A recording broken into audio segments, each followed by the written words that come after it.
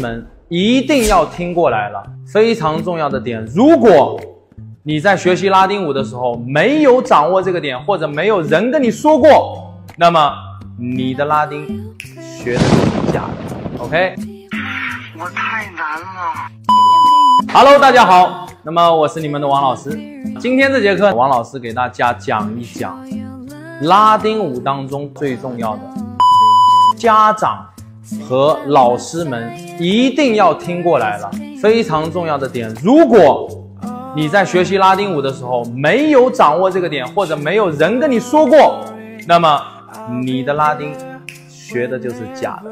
OK，好，什么点？首先我们知道跳舞会让人有气质，那么怎么样有气质？一定要掌握这几个点，哪几个点？先是我们的身体的束缚感，我们的垂直，然后是我们的对抗力。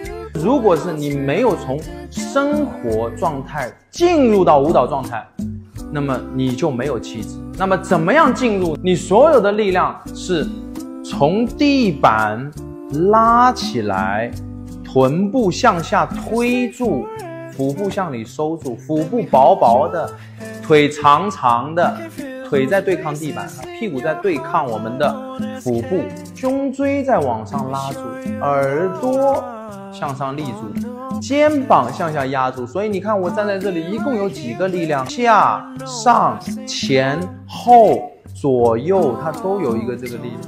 你一定先是有束缚感，有对抗，对你所有的移动都有这个状态先，OK，不是生活状态。又开始了，这这没完了吗？你那你这样子，你都没有能够在舞蹈里的状态，那么说明你是错的。OK，这个非常重要。其次，在舞蹈里，我们要强调所有的垂直，你怎么样去移动，怎么样去放重心，这个非常重要。王老师要看到非常清楚的三点一线，哪三个点？就是我们的头、胸、胸椎。肚脐眼这三个点要一起移动，转移，保持在舞蹈状态里，移动，转移，移动，而不是这样动的，是吧？那你们就跳科目三了，变成。OK，所以这几点你学会了吗？下课。Nice，我的妈，好像没电了。记得关注再走哦。